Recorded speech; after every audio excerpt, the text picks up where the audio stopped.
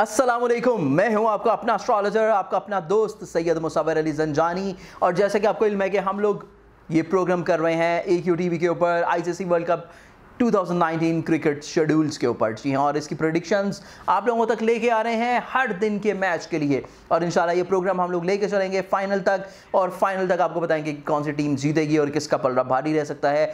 کتنا کانٹے دار مقابلہ ہوگا اور کتنا آسانی سے کوئی ٹیم میچ جیت سکتی ہے۔ تو آج جو میچ ہونے جا رہے ہیں، آٹھ جون کو آٹھ جون کو دو میچ ہوں گے اور آٹھ جون کے اکارڈنگلی پہلا جو میچ ہوگا یہ ہے انگلینڈ اور بنگلہ دیش کا اور یہ میچ رہے گا کارڈف ویلز میں۔ کارڈف میں یہ میچ ہوگا اور یہ ڈے میچ ہے اور یہاں پہ انگلینڈ کا جو نمبر ہے وہ تین ہے اور بنگلہ دیش کا نمبر ون اور بنگلہ دیش کے جو کیپٹن ہے مشرفی مرتضی ان کا نمبر بنتا ہے تھری اور اس کے ساتھ ساتھ جو انگلینڈ کے کیپٹن ہے ہمارے پاس آئن مورگن ان کا بھی نمبر بنے گا تھری۔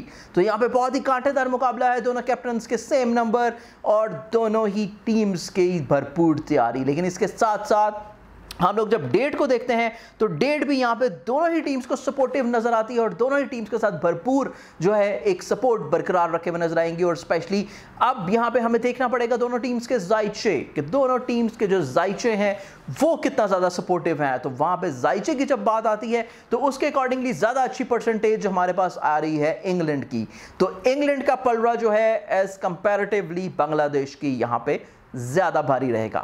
تو آج کے دن کا جو دوسرا میچ ہے ہمارے پاس، وہ ہے Afghanistan versus New Zealand Afghanistan versus New Zealand کوئی مقابلہ نہیں، اگر ہم لوگ مینٹلی طور کے پر دیکھیں لیں، جب ہم لوگ یہاں پہ نمرالوجی اور علم نجوم سے دیکھتے ہیں، تو یکسری حالات ہمیں بالکل ہی مختلف نظر آتے ہیں۔ کیونکہ یہ میچ ہونے جا رہا ہے کنٹری گراؤنڈ ٹون میں، اور یہ ڈے نائٹ میچ ہوگا، اور یہاں پہ ڈیٹ جو ہے وہ سپورٹ کر رہی ہے افغانستان کے کیپٹن کو۔ افغانستان کا جو ٹیم نمبر ہے ون، وہ نیوزی لینڈ کے تھری نمبر کے اوپر زیادہ حاوی ہے اور اس کے علاوہ افغانستان کے جو کیپٹن ہیں اسپیشلی گلبدین نائب، ان کا چھ نمبر زیادہ حاوی نظر آتا ہے۔ نیوزی لینڈ کے جو کیپٹن ہے کین ولیمسن فائیو کے اوپر۔ تو یہاں پہ ٹوٹلی ایک ڈیفرنٹ سینیریو نظر آئے گا۔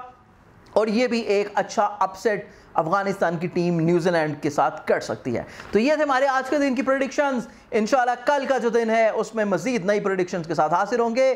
اجازت دیجیے۔ اللہ حافظ۔